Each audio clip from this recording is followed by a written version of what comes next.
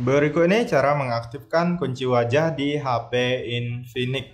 Oke langsung saja teman-teman kita masuk ke tutorialnya. Di sini saya menggunakan Infinix versi Android 13 ya teman-teman ya. Nah jadi di sini langsung saja masuk ke pengaturan. Di sini teman-teman silahkan uh, masuk ke bagian keamanan. Selanjutnya di sini pilih di bagian pemindai wajah. Nah untuk kunci wajah memang tidak semua HP Infinix ada Nah, jadi kalau tidak ada, teman-teman belum bisa mengaktifkannya ya. Jadi di sini teman-teman silahkan klik di bagian keamanan, kemudian pilih pemindai wajah. Nah, pastikan teman-teman sudah mengaktifkan kunci layar. Apabila teman-teman belum mengaktifkan kunci layar, maka nanti di sini akan diarahkan untuk mengaktifkan kunci layar terlebih dahulu.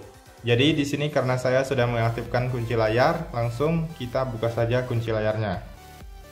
Nah, sekarang eh, di sini saya hapus yang data wajah sebelumnya terlebih dahulu.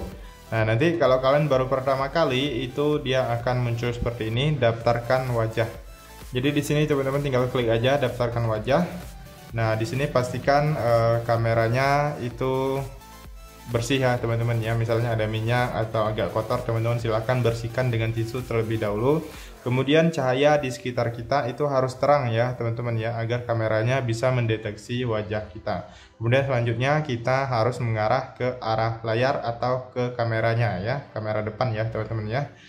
E, kemudian selanjutnya kita klik mulai.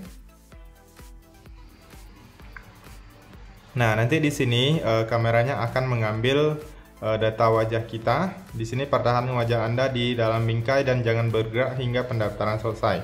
Nah, di sini saya ambil uh, data wajah saya terlebih dahulu.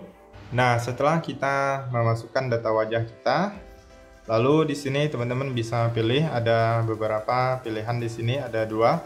Bisa kalian buka secara langsung ataupun tetap di layar kunci.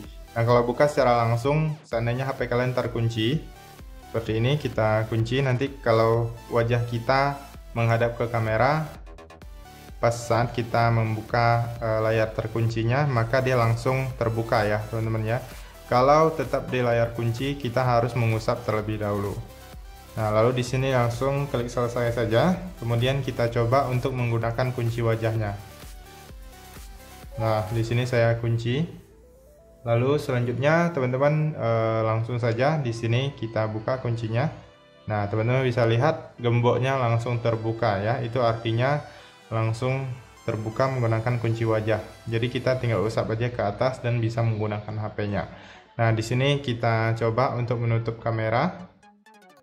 Kita buka lagi. Nah, kalau kita tutup kameranya, ini gemboknya nggak akan terbuka ya. Kalau kita eh, nggak tutup, seperti ini. Saya kunci saya buka lagi. Nah langsung terbuka gemboknya. Oke teman-teman itu saja untuk cara mengaktifkan kunci wajah di HP Infinix. Semoga bisa bermanfaat dan sampai jumpa di video berikutnya